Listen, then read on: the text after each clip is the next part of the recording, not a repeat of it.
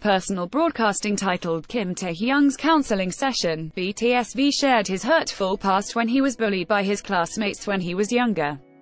He was comforting a fan who was going through rough time with her friends, and he shared his personal experience. Quote, I also once almost lost all my friends because of this one friend I had. My friend was good at school and good at sports and did everything well, and I was just average. We were close, but then I started to feel like he didn't think of me as his friend, but rather as someone inferior to him. I had noticed that, but we remained friends anyway. BTS's V then he revealed on the friend's birthday, his friend purposely told him the wrong location for the party and V ended up showing up at the wrong place.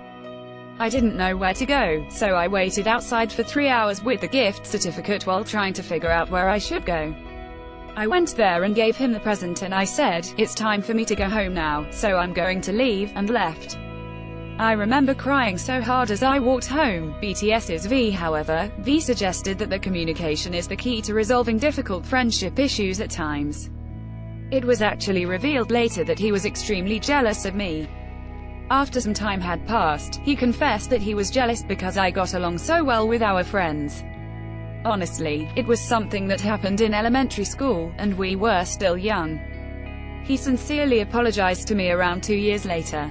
We had been awkward for a while because of that incident, but because he apologized sincerely to me, I thanked him. BTS's VV also emphasized that being honest and sincere between friends are truly important. Although it's completely normal to be jealous of your friends, it is also crucial to be able to admit the truth as long as there are no malicious intentions behind it http colon slash slash www.vlive.tv slash video slash 33811 question mark channel code equals FA619 ad choice is advertising in red invented by Teeds BTS dorms. Here's who rooms with who.